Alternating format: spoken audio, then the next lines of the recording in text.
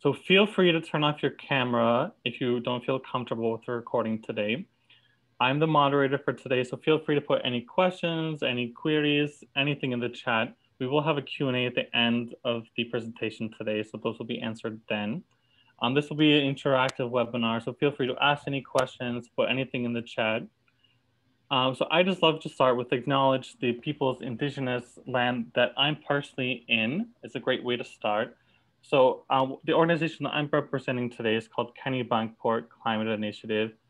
The name actually comes from a Mi'kmaq word, which means long sandbar. So that really pertains to the webinar today as it talks about the aquatic origin of um, Kennebunk. So we're very excited today. We have some great panelists and we have some great organizations. I will start with EcoMaine. So EcoMaine is the middle here. EcoMaine provides comprehensive long-term solid waste solutions in a safe, environmentally responsible, economically sound manner. And it is a leader in raising public awareness of sustainable water uh, waste management strategies. And they really focus on the reduce part of reduce, reuse, recycle. The next up, I will talk about Rosalia Project. Rosalia Project is an organization that comes out of Burlington, Vermont, that focuses on reducing marine debris through sailing research vessels called the American Promise. Rosalia Project protects and cleans the ocean using technology innovations, solution-based research, and education STEM programs. They also do solution-based science on boats and beach cleanups. They take action on non-sustainable fishing practices and focus on overall ocean protection, and they also do take out their boat on the Gulf of Maine. Um, KCI, which stands for Kennebunkport Climate Initiative, aims to educate, empower, and activate youth voices for climate change with the goal of reaching 10 million youth by 2025. They do this through many educational programs such as clubs, coalitions, and actions with youth at the forefront. And the last organization on the right there is Maine Energy AmeriCorps Program. The organization focuses on energy efficiency stewardship through the state of Maine and helps to reduce energy costs for all Mainers. Um, with that, I will introduce one of the panelists who will be helping moderate today.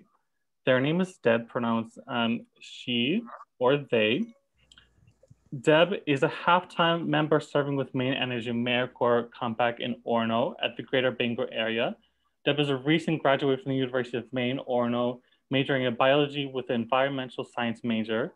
They are very excited to lead a window dresser build in the future in the state of Maine, which will help in other projects to serve underprivileged members in the community.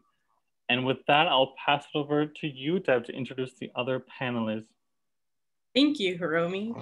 All right, so our next panelist is Alan.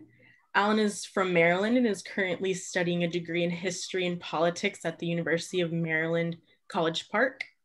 He has a strong connection to his Filipino roots and has often visited the island nation. He talks about how the country is at a higher risk of several climate change risks due to its island nature. And when he returns, he hopes to help the poor through effort of educating local youth, media promotion, and fundraising. He is inspired to help and preserve the world for future generations. Next is Ashley Sullivan. She grew up on an island surrounded by the sea in South Florida and has been involved in design, implementation, and ongoing management of environmental education programs at multiple nonprofits for the past 20 years. She is the executive director of the Rosalia Project for a Clean Ocean, a long life, a lifelong sailor, ocean lover, and a US CG captain. Ashley's strength as an educator is her creativity and ability to connect with people of all ages. In addition, she is one of the captains aboard Rosalia Project's ocean, oceanographic research sailing vessel, American Promise, and travels the US recovering marine debris and collecting data, sharing the story of the Rosalia Project and inspires people to be part of the solution through storytelling and presentations. And finally, we have Vanessa. She's born and raised right here in Maine. And Vanessa joined the Eco Maine team in August of 2018 to provide education and resources to a wide array of audiences as an environmental educator. From giving tours to conducting trash audits with students. Vanessa's main goal is to encourage others to follow the three R's, reduce, reuse, then recycle. She holds a bachelor's degree in elementary education from the University of Maine at Farmington and recently obtained a master's degree in environmental studies and sustainability from Unity College. So those are our panelists. Oh. Ah, there it goes. All right, so this is our agenda. Thank you everyone for joining us. I want to start off by showing you all the agenda for today. The agenda is split up by educating, empowering, and activating. The first item, we'll be learning about microplastics from Ashley from the Rosalia Project. After that, Alan, a KCI youth ambassador, will do a virtual lab with the help of Ashley to teach everyone about microfibers. Next, Vanessa from EcoMaine will talk about her experience working at EcoMaine and solutions for microplastics. Lastly, I will be conducting a Q&A to end the webinar um, with the help of Alan in a fishbowl style conversation. This means you all can ask questions and everyone um, of the panelists will have a chance to answer the questions and give their unique perspective of the question. Feel free to ask anything anytime and Hiromi will take them down for the Q&A. All right, next um, I'll be introducing Ashley and stopping my screen sharing.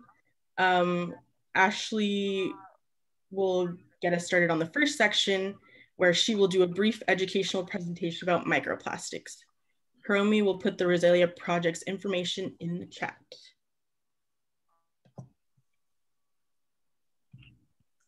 Awesome. Okay. So I guess that means I am on. Okay. No judgment on my very messy.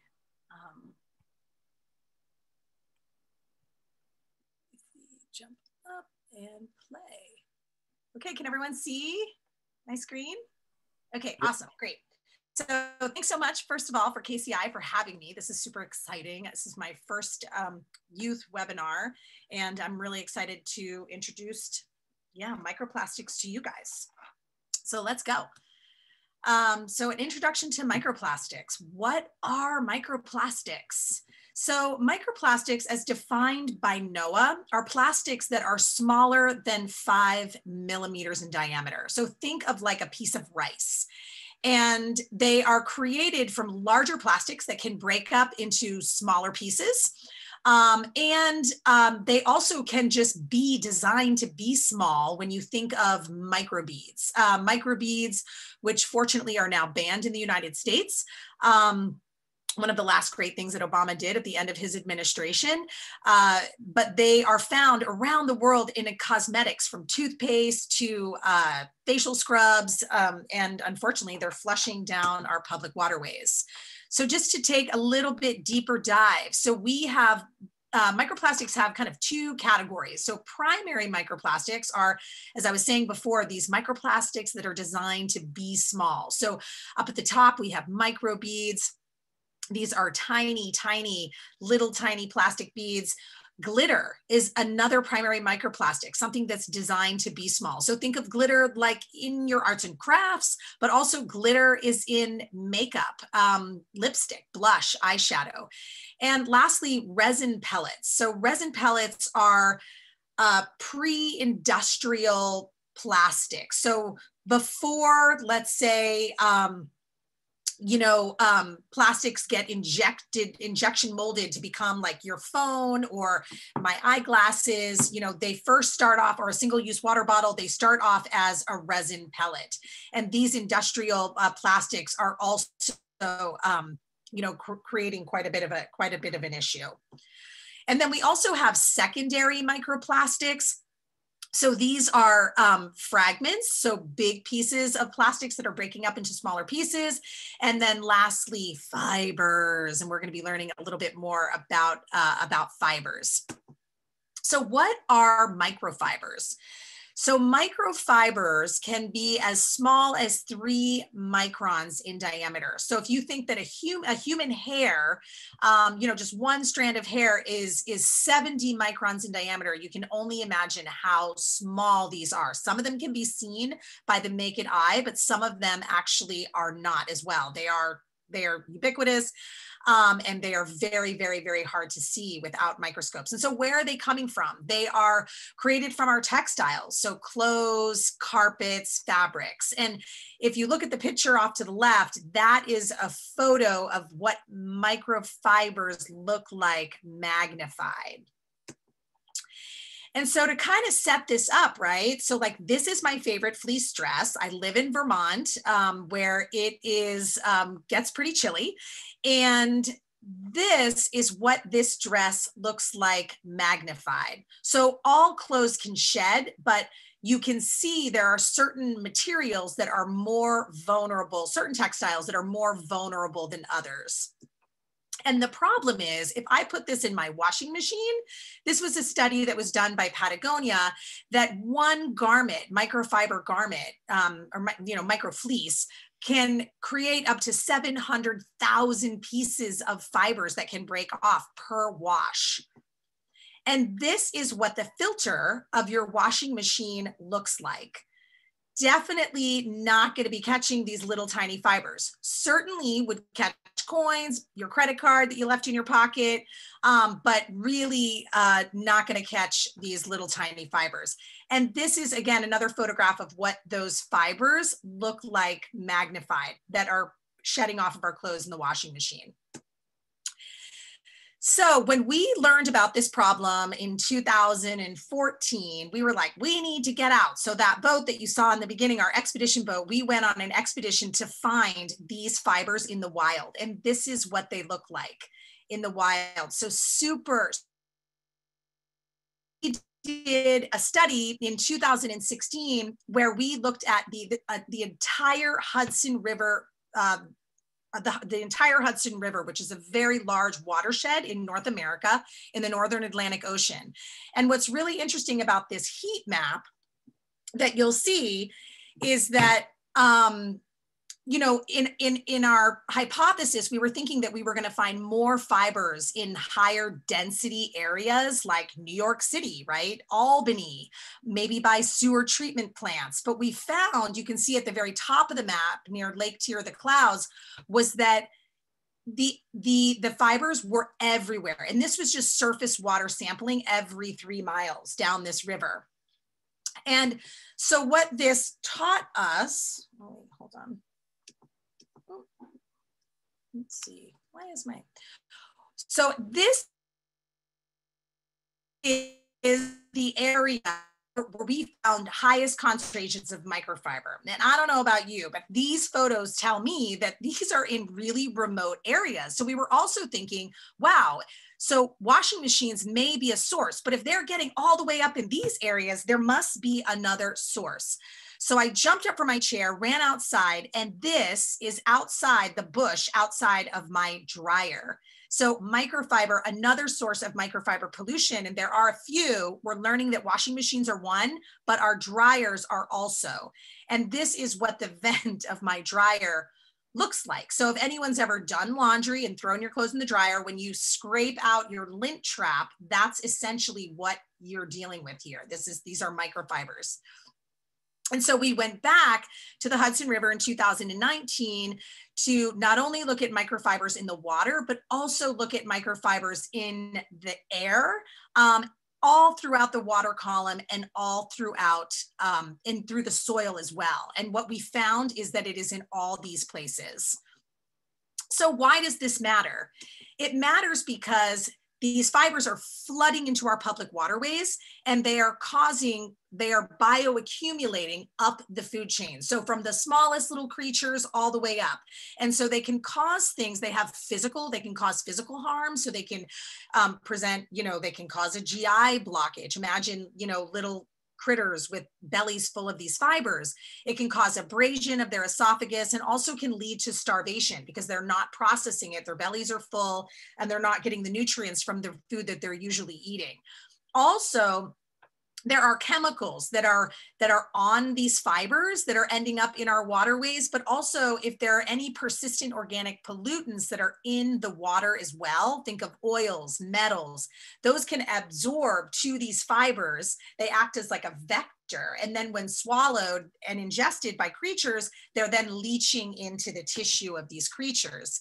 And obviously what they eat if you eat seafood we eat and so, in a study that was done back in 2015, which is a long time ago at this point, and I can tell you these numbers have come up, uh, Chelsea Rochman, a scientist from the University of Toronto, looked at, uh, went into a, a, fish market in Orange County, California, and bought fish right out of the market that was being sold to be brought home and prepared for human consumption. And what she found was that one in three shellfish and one in four finfish and 67% of all the species that she looked at had microfibers in their tissues. And in another study, so far, and this number has grown, there have been over 220 plus species in the ocean that have been found to have microplastics in them. So again, from the bottom of the food chain all the way up through forage fish and to predator fish like cod, sea bass, bivalves, um, and um, plankton as well. The images in the right, on the right, or sorry, on the left, were uh, a study that was done in 2013 by uh, a professor at the University of Exeter. And what he did was he took a bunch of plankton and put in, um, in a lab, put in um, uh, neon polystyrene. So polystyrene is basically styrofoam, little tiny styrofoam beads, along with other food that these animals, that these critters would be eating. And what he found was that over a three hour period, that they were not able to distinguish which was the plastic and which was not. So what you're seeing inside are these neon beads that are that were lit up under a microscope and they are fully ingesting them. It has also been found in um, tap water worldwide at this point at some pretty, um, pretty alarming rates. Oh goodness. For some reason I get, and it's also being found in bottled water. So bottled water is really kind of no better at this point, right? So 93% in bottled water uh, worldwide. Oops, sorry. It's also being found in our honey gosh, it's being found in our salt. And this is about as bad as this talk is going to get. It's also being found in our beer. So the good news is there are a lot of solutions and I'm going to pass it back over to Deb so that she um, can introduce Alan who's going to do a workshop. So, you know, education is a part of this solution is one of the many solutions is educating people about this problem through work webinars, um, and also science labs. And then, um, you know, there's lots of other solutions as well that we're going to talk about in a bit. So thanks so much for having me. And I will pass it back over to Deb and stop sharing. if I can figure out how to do that. Thank you, Ashley. So next we have Alan, who is going to be doing a virtual lab. Um, if anyone would like to follow along, please feel free. If not, um, feel free to watch how Alan does the lab and try at home later. And Hiromi will put the lab in the chat. Hi, nice to meet everyone. My name is Alan Matarang, and uh, I'm here to conduct the virtual lab. So the goal of the experiment uh, will be to uh, simulate a washer dryer, basically. And our goal will be to discover the microfiber output using different variables. And we will see how these variables such as water temperature, the amount of water, and the cycles impact microfibers. So first of all, let me share the screen with y'all. Okay. Um,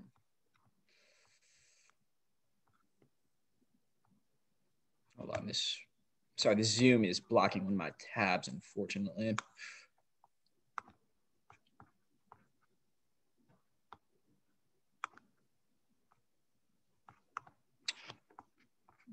sorry about this. Give me give me a second here.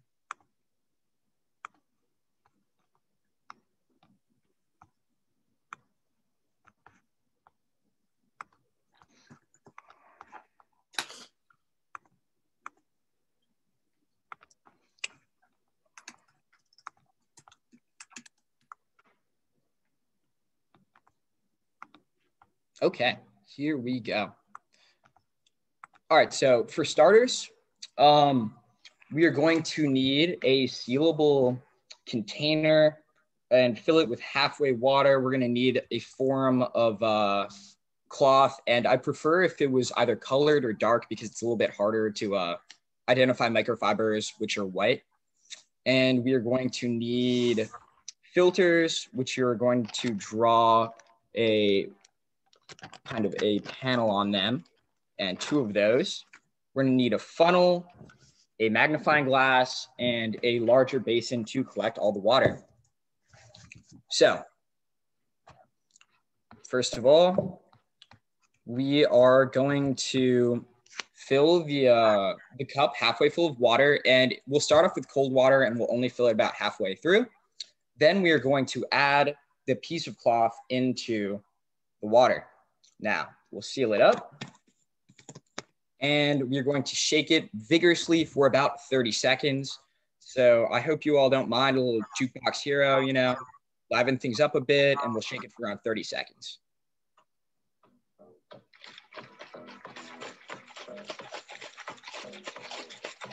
Really give it a good shake too.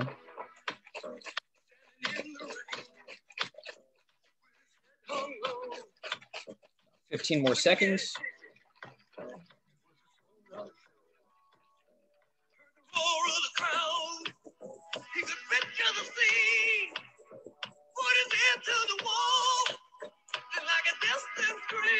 All right, sorry to cut that off, but um, that was 30 seconds right there. And so as you could see, uh, examine the water if you can. Notice if there's anything floating around in it. And what we're gonna do now is get the basin over here. Make sure it is right below. I'll try to angle my screen a little bit better too. You're going to put one of these uh, coffee filters right over the funnel. Try to get it in there as best you can. And we're gonna open up the container.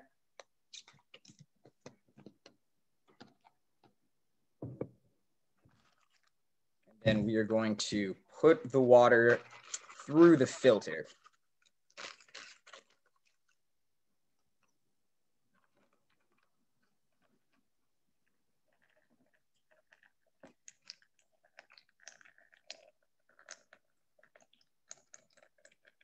Yeah, Alan, for, for this part, would you mind stop sharing so we can just see a bit closer?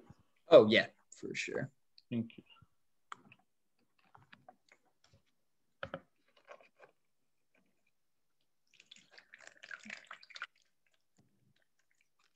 May take some time to filter too.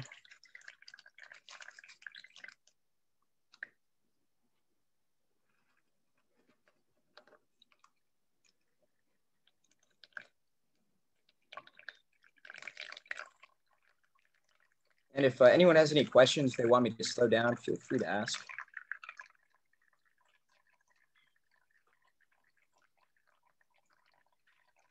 So what Alan is simulating is essentially how your clothes, the impact that your washing machine has on your clothes. So imagine that that piece of red fabric is a t-shirt. And so he's just shooking it up and trying to explore the different variables that contribute to microfiber shedding in the wash. Do you know what type of um, fabric you're working with? Like what material that is?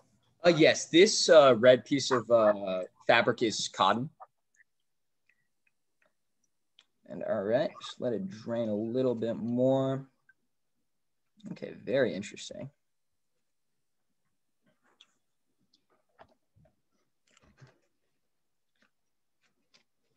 All right, some of the water is still in here. I can almost see like a red tinge. Yeah, so I'll try to here. Let me move my computer around as well.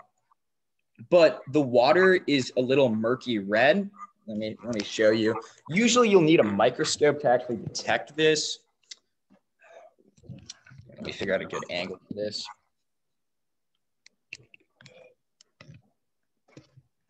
Sorry, this is a little difficult. All right, I'll just put it up the camera. But um,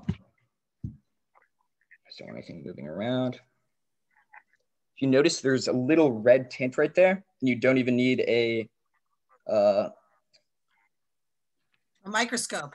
yeah, microscope to see it. But okay, so now that we've done that, we're gonna use the microscope to count how many fibers are actually on that little square, which we drew earlier. And I count,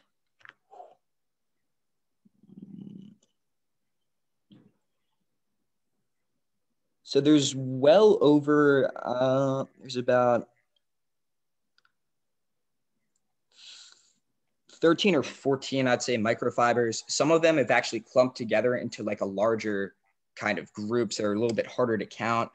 And then you see all around there are very small amounts of uh, microfibers around. I'll put it, try to put it closer to the screen. Yeah, so I'll add. So what um, Alan did there is he drew a two centimeter by two centimeter grid there.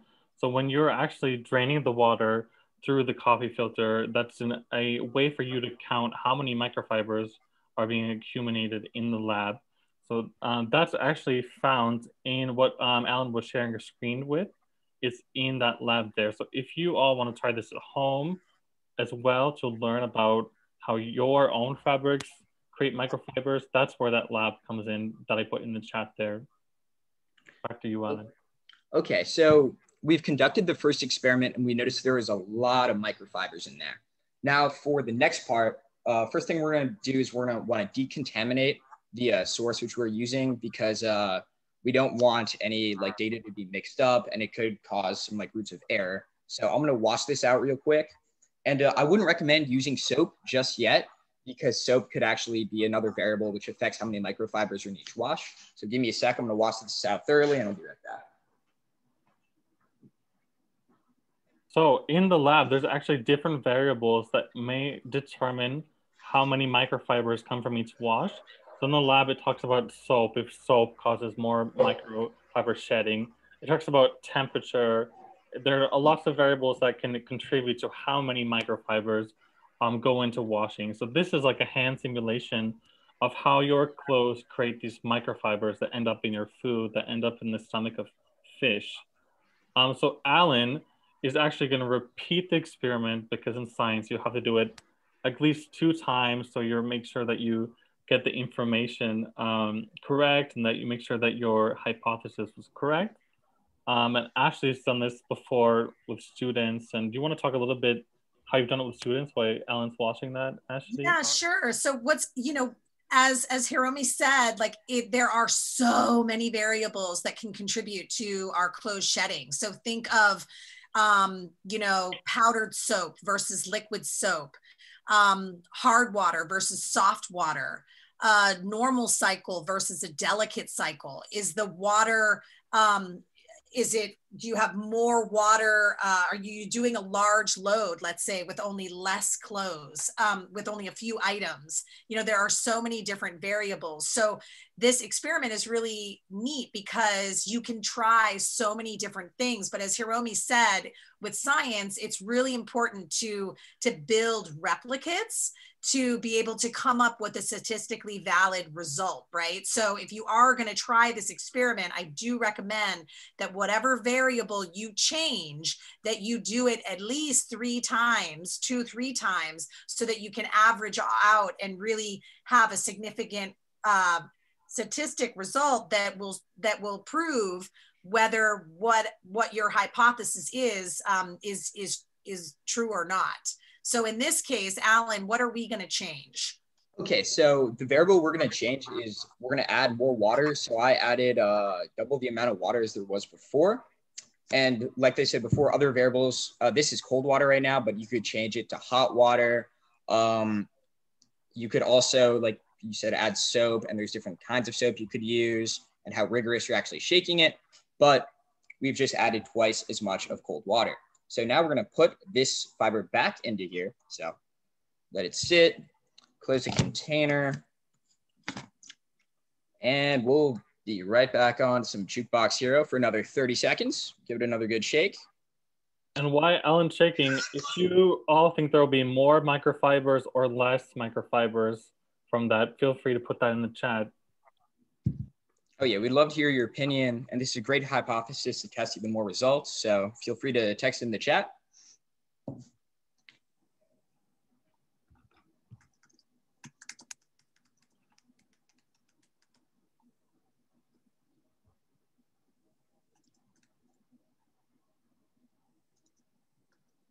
Stephanie says more.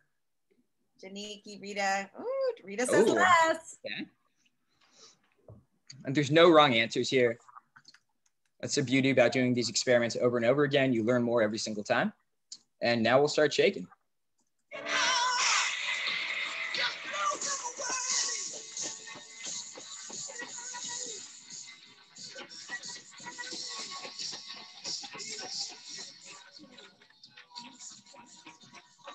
Like the song choice. Oh yeah, gotta love the classics. About five more seconds.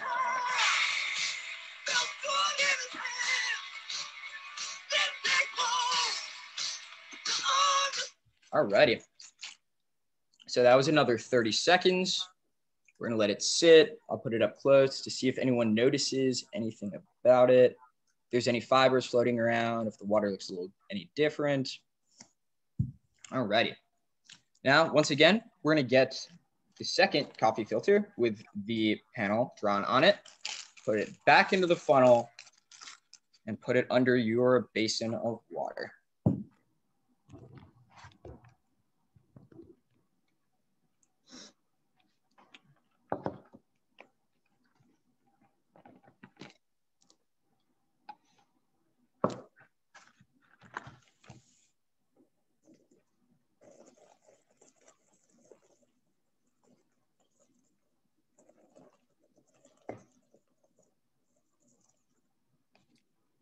Alrighty.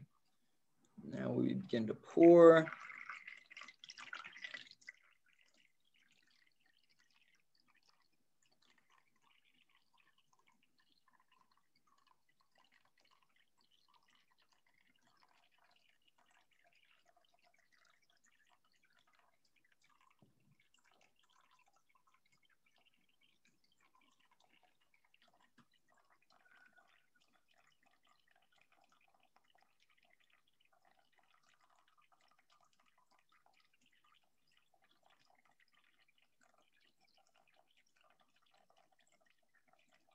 Julia, I like your thinking.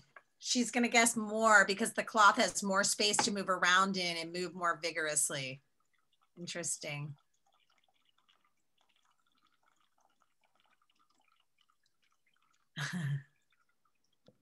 And so the Rozalia project also, um, actually, if you want to say, uh, gives people kits to be able to do the experiment at home.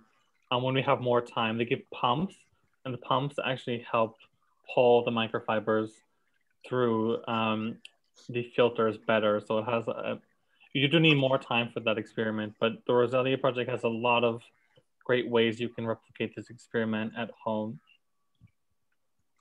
And Hiromi, are you all sharing the lesson plan and the worksheet? I'll put it back. I'll put it in the chat again. Oh, you already did. Great. Alrighty. So now that this is drained, we're gonna take it out. And I'll put it up close to the camera again.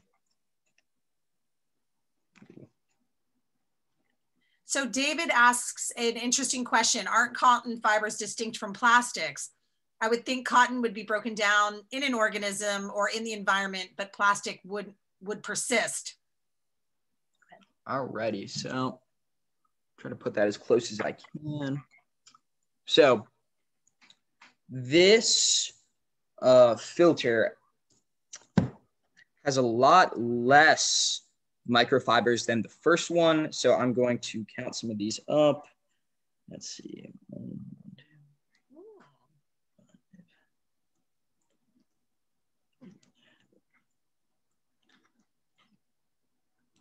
Yeah, it, I'd say this has around like seven or eight microfibers, but also they're not as clumped together as the first filter was. Like this is a first filter in comparison. like you could see that big splotch of red and there's a lot of smaller splotches of red beside it. And then the second filter, you notice it didn't clump up as much. Yeah. And so, and for the best results, it's better to do this experiment probably three times or even more than that. And it's a great way to also experiment with the other variables so you could see the different results. But in this result, there was actually a few less microfibers, but in the first one, they clumped up a little bit more, so it might be a little harder to tell. But um, yeah, so basically, uh, if you conduct this experiment uh, in a multitude of different ways, you could try to find the most efficient ways to limit microfibers in your washing and drying cycles. And um, uh, there's a few ways you could do this even at home. And if you don't have the money to actually like spend for like new filtration systems, there are ways such as like maximizing your wash load. So if you're going to like uh, do a wash, try to get as many clothes as you can in one load. So you try not to waste water and try to limit microfiber pollution as well. Thank you, Alan. And just for time concerns, I'll hand it over to Deb to introduce the next panelist. Thank you, Alan. Yeah, no problem. All right. Next, we have Vanessa, who will be empowering the listeners with solution mitigation strategies to fight microplastics. Feel free to write some ideas you may also have in the chat. All right, and I'm just getting ready to screen share here.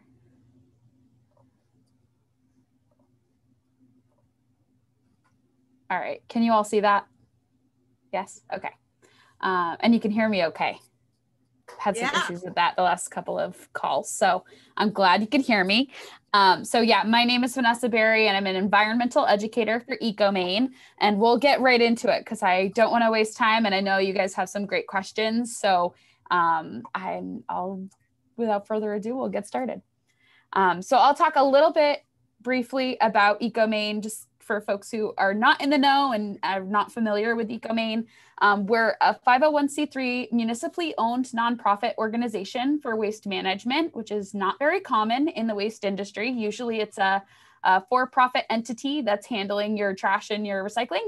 Um, we are owned by towns, and so we're trying to consider what the most long-term solid waste solution is going to be. And uh, sometimes that's not the most cost effective, um, or it might cost us money to do the right thing, but we do it anyway. Um, so that nonprofit flexibility and that municipal ownership really does kind of drive our values. Um, and, and you'll see that in some of the work that we do. So we have three facilities which we use to process material um, because it, you know, when you throw it out at the curb, it doesn't just disappear and uh, we don't want it to become uh, a detriment to the environment as a microplastic in the ocean or you know out in our native uh, natural spaces. So we have uh, three facilities that help us manage that waste. Uh, we have a waste to energy power plant where we combust household trash at about 2000 degrees fahrenheit. Um, it is completely incinerated uh, and it reduces the volume of trash by 90% so that what we do send to landfill is ash and uh, we are able to accept you know 100 trucks of trash and for that only 10 trucks of ash have to go to a landfill for permanent storage versus you know sending that 100 trucks of trash straight to a landfill to be buried into a hole in the ground um, we also have our single sort recycling facility. Um, so that's commingled recycling materials that people are putting out in their curbside bins, or maybe they're bringing them to a transfer station. Um, and we have sorting technology and human beings that work in our facilities that help us process all of that material so that it can go into the commodities market to be turned into brand new things. Um, so part of that circular economy um, that relies a lot on our education and uh, and you know getting those resources to people to help them do it right. I'll talk about that in a second too. Um, but we're able to recycle quite a bit of plastic material um, I'll talk about that in a second as well. Uh, but we also accept cardboard, paper, um, both ferrous and non-ferrous types of metals, uh, glass, and um, and then plastics one through seven uh, so long as they meet our criteria. So we'll, we'll get there on that. Um, and then we also own and operate our own landfill space. So now we're using it to store uh, our ash and we're slowing that rate of filling um, substantially because we're reducing that volume of that trash. So instead of, you know, sending raw trash there, we would be closed 15 years ago if we continued to do that. So um, we're, we're finding more sustainable solutions. Um, we process about 175,000 tons of trash in our waste to energy plant every year. And uh, we've got some rookie numbers. We've got about 35,000 tons of recycling that we process each year. Um, and so we really need to up that rate and, and participate a little bit more in our recycling programs to help, you know, keep those going and keep that material out of the landfills. So we've got a few communities in the state of Maine. Um, if you're tuning in from Maine, you can check and make sure that you are or are not an EcoMaine community. If you have questions, you can check out our website. Um, I'll, I'll leave it at that. You can also see here who our owner members are. They're the ones that are flagged in green. Um, we also contract our services out. So we service about a third of the state's population for recycling um, and, and trash services or a combination of both. Um, so part of recycling is, you know, we can only recycle things that actually have a value at the end.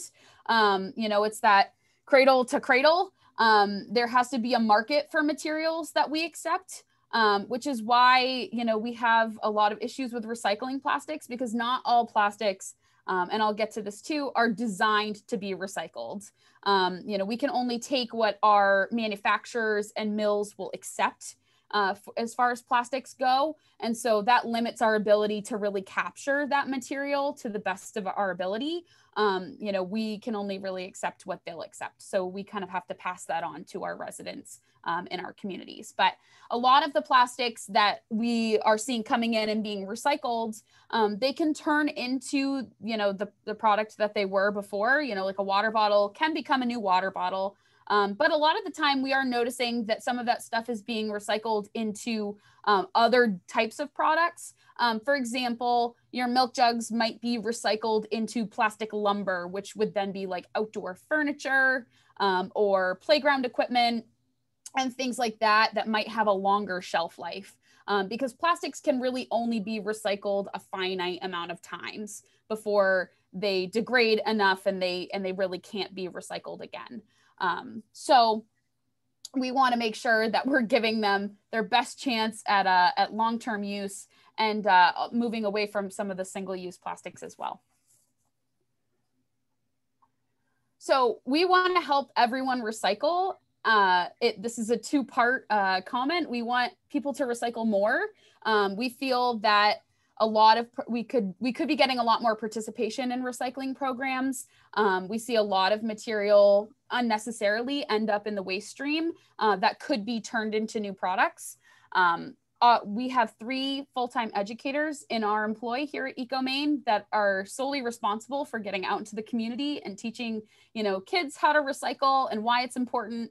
Um, but we also have lots of resources on our websites and stuff to get to get people active and engaged in the process and, and understand that circular economy that they participate in every time they put something out at the bin.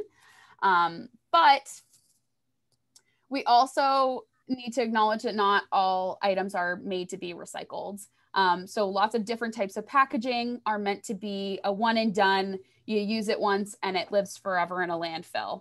Um, now that's where you know that education comes into play. We want to encourage people to reduce, um, then reuse what they have, and then recycle. Recycling comes third for a reason, um, and that's part of a much larger uh, conversation uh, uh, that was uh, kind of established back in the 80s with guidance from the EPA um, called the Solid Waste Management Hierarchy. I've got a slide on that in a second, um, but just because an item has that chasing arrows in the triangle does not necessarily mean that that item can be put in your recycling bin and turn into something new. Um, so plastics have that resin code, that symbol with a number in it to tell you what the chemistry of the, of the plastic is. Um, but that doesn't necessarily mean that that is going to go and it's going to turn into something if you put it in a recycling facility. And there's a, there's a chance um, that putting something in there without knowing for sure that it is recyclable could cause some problems down the road for recyclers like EcoMaine. Um, anytime non-recyclable items, you know, from chainsaws and samurai swords to dirty diapers and kitty litter and plastic bags, um, every time those go into our facility, somebody's got to deal with that. Um, it gets tangled up in our equipment or it might create a workplace hazard. Um, it gets picked out manually by workers because we don't have technology to screen that material. Um, and it makes recycling more expensive um, and then therefore less accessible to the public.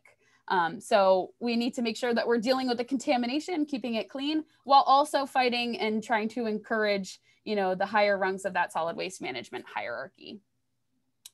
Um, we also want to fight for clearer labeling because it's very confusing when you see that symbol on something. And, you know, sometimes we'll see things like place me in your curbside recycling bin. Um, and that's not where it should go. so um, we struggle with a lot of that too. Um, so making sure that we're advocating if you see a company that's putting something on their recycling on this item that says it's recyclable and you know for a fact that it's not, um, you know, reach out to them and or you know if you see something that's single use and unnecessary, reach out to them and see if they can cut that out because it's the first step in a much larger conversation about reducing the consumption of materials, particularly plastics with a short shelf life. Um, and then they're forever in our environment. All right, and then so for EcoMaine, just to talk about plastics that can be recycled, um, we have a three question test that uh, folks have to kind of comply with in order to recycle it correctly. Um, it's got to have the symbol on it and let us know what resin code is. Um, it also has to be a rigid plastic. Those get properly sorted um, and not tangled in our equipment. And it also has to be a container. So that's what the market dictates is recyclable and they can turn it into something new. Um, and if it's not a container, odds are it might, you know, go into our paper bales and end up, you know, going somewhere halfway across the country only to be thrown in a landfill halfway across the country. So that's quite a lot of travel and a waste of time and space in a bale that we could be using for perfectly clean recycling. Um, we also have some other resources like our Recyclopedia to help folks. Um, and then to get to some more solutions, we have waste to energy for the non-recyclable plastics. Um, our all of our trash gets combusted at 2000 degrees. We do have a robust emission scrubbing technology to clean up that material so that we're not putting out a bunch of toxins into our air um, and we're reducing it in volume so that it doesn't sit in a landfill forever just the way that it is. Um, and then we also really encourage folks to, um, you know, advocate for better solid waste policies. Um, there's our waste hierarchy right here. We want to reduce so refuse plastics if you can. If you can bring your own containers, we want you to do that.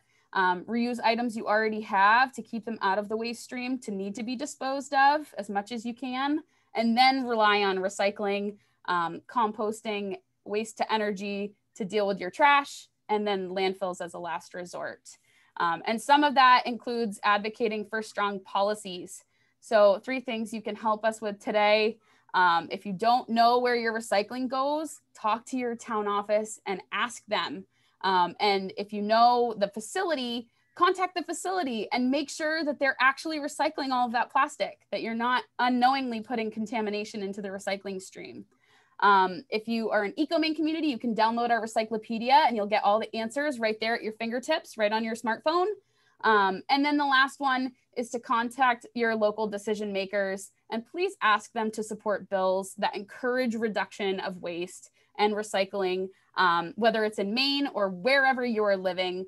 Um, and then celebrate those small victories and then thank your legislators for voting for those good policies. So uh, a couple weeks ago in Maine, we just voted for a really great, robust EPR bill. We want to celebrate our legislators who supported that bill um, and, and give them a big thank you and continue to encourage them to advocate for you know the waste hierarchy and for better solid waste practices our voices together make a big big difference um, so use that voice and leverage it as much as you can and get to know those legislators and and you know call them a lot and that's all i got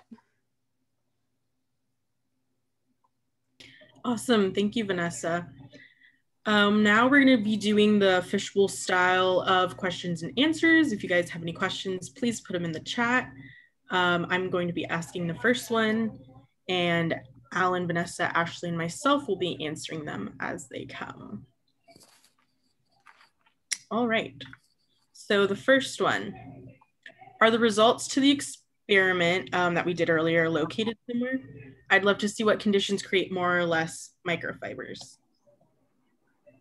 Um, I can answer that. I mean, really, this was set up as an educational tool. Uh, so we, um, you know, I have certainly learned a few things um, doing this with students. Uh, but that's a really great idea. You know, there are a lot of studies that have been done around this. So I can certainly um, look to compile them and share and share some with you if that's helpful.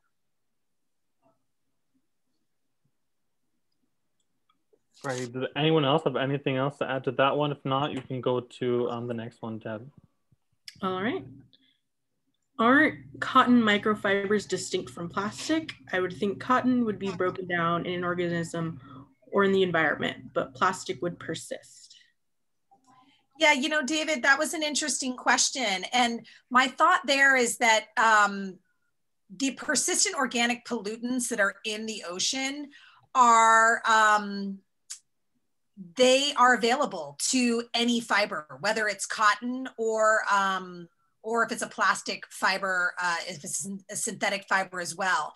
A lot of times, cotton uh, may have uh, chemical dyes on the on the the textile itself, um, and it also may have things like you know flame retardants or um, other chemicals, wrinkle resistors, um, and those uh, will um, ultimately can be consumed as well um, by by sea creatures. So I really think, um, you know, while I'd love to think of a world where we're all wearing organic cotton, and certainly that's that's a that's a great um, opportunity, but not something that's readily available um, from an equity standpoint for everyone. And I know certainly I've worn wool, and I don't want to go skiing in wool, um, but um, but yeah, I mean, there's certain advantages. I think if you can get your hands, you know, and wear all, you know, linens and organic materials, that's that would be awesome. But um, there are sometimes even with cotton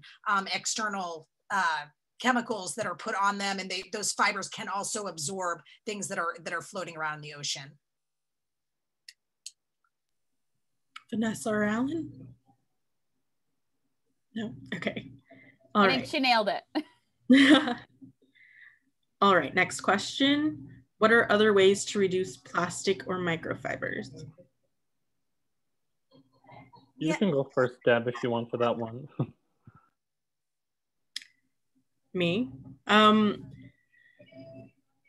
I mean, I think we touched on it earlier um, with the washing, doing less or doing larger loads and things like that just being aware honestly and educating yourself about it is probably one of the most important things you could do also.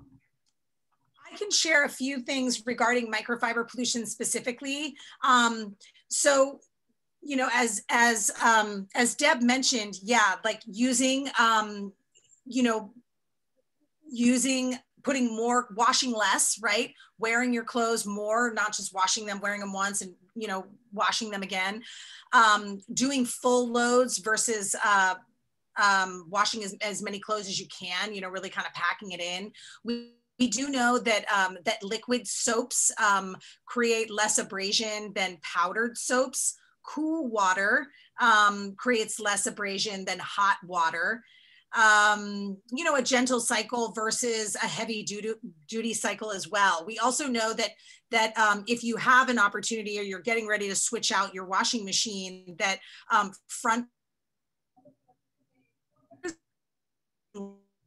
less water. And so they're creating they do create less fibers than like the old school um, top loaders. Um, you know and then there are some external things if it's something that you're really concerned about. There's a few consumer scale solutions. One of them is the Cora Ball, which is a microfiber um, laundry ball that Rozalia project invented and i can put a link to this in the chat. It has an efficacy of about 31% um, reduction of fibers per load. Um, you know, there's also another item called the Guppyfriend. It's almost like a lint bag, like a delicates bag that you put your clothes in. Um, and then there's the Lint LUV-R, which is which is an external filtration device. And I can put all three of these in the chat. Um, that is a little bit more expensive. You also need a um, you need an, a plumber to come in, an external like a plumber to come in and install it. You may have a space issue. Um, and to be changed out. Uh, the filter does need to be cleaned after every wash, or you could end up, you know, flooding your laundry space. But um, you know, there so there are there are things that we that we can do. That's a great question. I don't know, Alan. Um, can I just answer that question, Deb? I want to say, let's see if Vanessa or Alan wants to add anything. If not, we'll we'll end with that question. Okay. Vanessa or lint? Alan? The question about lint? Yeah.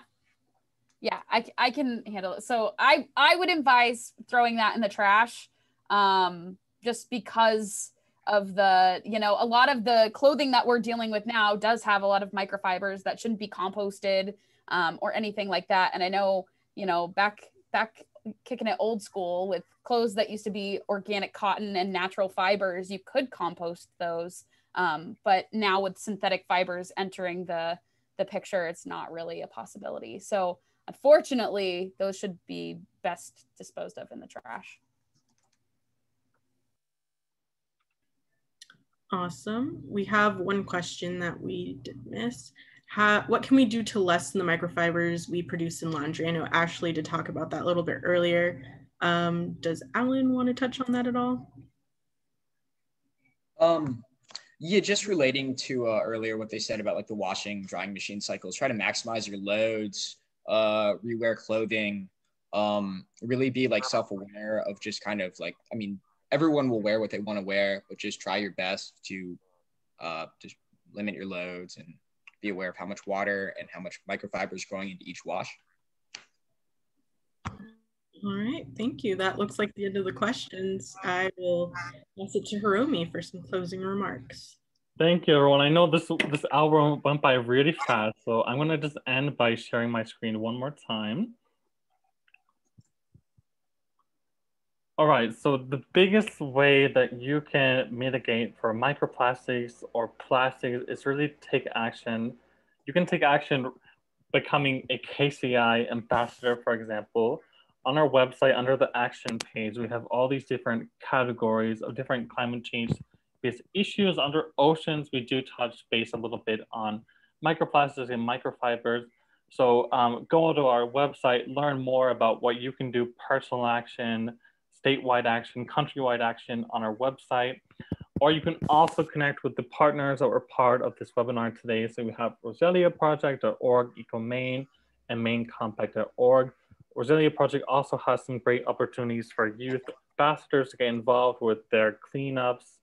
Um, so feel free to contact any of these organizations, become a KCI ambassador to join some more webinars and talk more um, to the people in your lives about this issue. I thank you all to our panelists today and thank you all for coming. So that's it. Goodbye.